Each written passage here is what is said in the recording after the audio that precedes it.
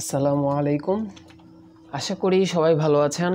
চলছে প্রিয় daily quiz আজ উনত্রিশে মে দুই হাজার একুশ। ভিডিওটি শুরু করার আগে ছোট্ট একটি অনুরোধ থাকবে আপনার কাছে। আপনি আমার চ্যানেলে নতুন হলে অবশ্যই সাবস্ক্রাইব করবেন এবং সম্পূর্ণ ভিডিওটি দেখবেন। যাই হোক, কথা না বাড়িয়ে চলুন আজকের প্রেক্ষাপটটুকু পড়ে উত্তরটি জেনে নেই।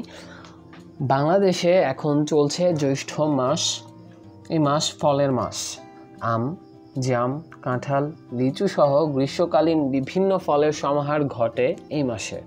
এ কারণে অনেকে এই মাসকে মধুমাস বলে থাকেন, যা একেবারেই ভুল।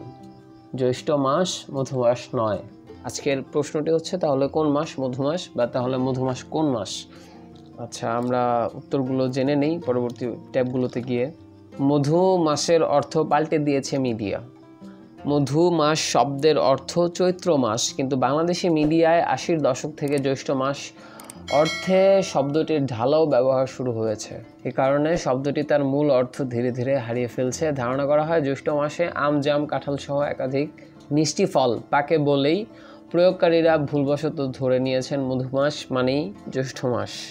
জ্যৈষ্ঠ মাস কি আসলেই মধুমাস এখন জ্যৈষ্ঠ মাস, পত্রপত্রিকা খুললেই দেখবেন চলছে মধুমাস শিরোনাম। কোনো কোনো আর্থিক প্রতিষ্ঠানও জ্যৈষ্ঠ মাসকে মধুমাস হিসেবে চালিয়ে দিচ্ছেন। তবে প্রশ্ন উঠতে পারে তাহলে মধুমাস আসলে কোনটি? এ প্রশ্নের উত্তরে অভিধান বলছে, চৈত্র মাস হচ্ছে মধুমাস।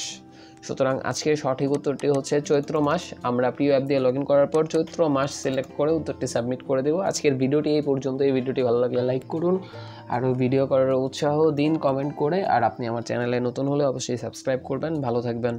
আল্লাহ হাফেজ। আসসালামু আলাইকুম।